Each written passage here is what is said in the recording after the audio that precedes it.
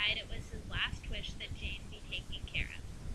Sarah Reed, Jane's aunt, obeyed her husband's wish. However, she and her children despised Jane and made her life at Gateshead, the home where they lived, miserable. Both Mrs. Reed and her children, Jane's cousins, Georgiana, John, and Eliza, are emotionally and physically abusive to Jane.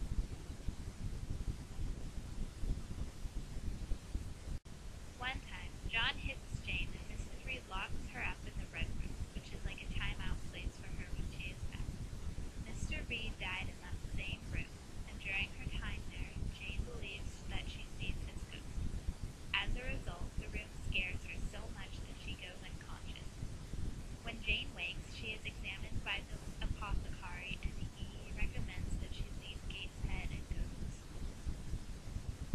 Mrs. Reed sends for a schoolmaster, and when he comes to interview Jane, he is made to believe by Mrs. Reed that Jane is a liar, which, in reality, she is not. However, Jane is accepted into Mr. Brocklehurst's school, Lowood. After Mr. Brocklehurst leaves, Jane retaliates and puts Mrs. Reed in her place for falsely accusing her of being a liar. Soon after the confrontation, Jane leaves for Lowood School. When she arrives at Lowood, a boarding school for orphan girls, she finds the conditions to be terrible, as most students had very little to eat and during the winter are very cold. Jane and the other students look forward to the tea time to have a small morsel of food and warm tea, a bright spot in the dreary days.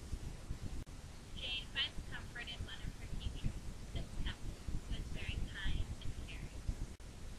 During her time at Lowood, Jane meets Helen Burns, another student, and they soon become friends.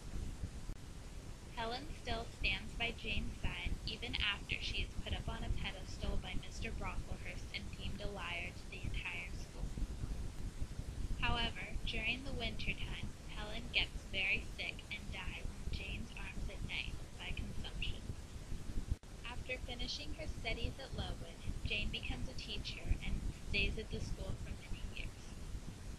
When she is 18, however, she grows tired of her life at Lowood and puts an advertisement in the paper to be a governess.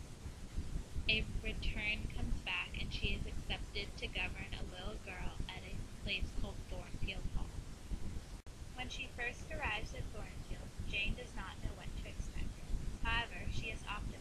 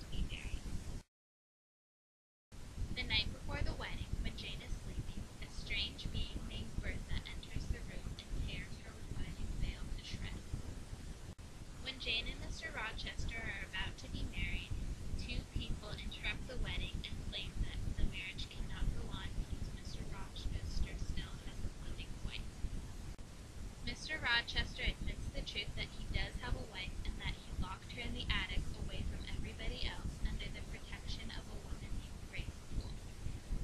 His wife, who turned out to be Bertha Mason, escaped the night before the wedding and was the culprit who shredded Jane's veil. The day after hearing the news, Jane runs away from Thornfield. After wandering for days, Jane and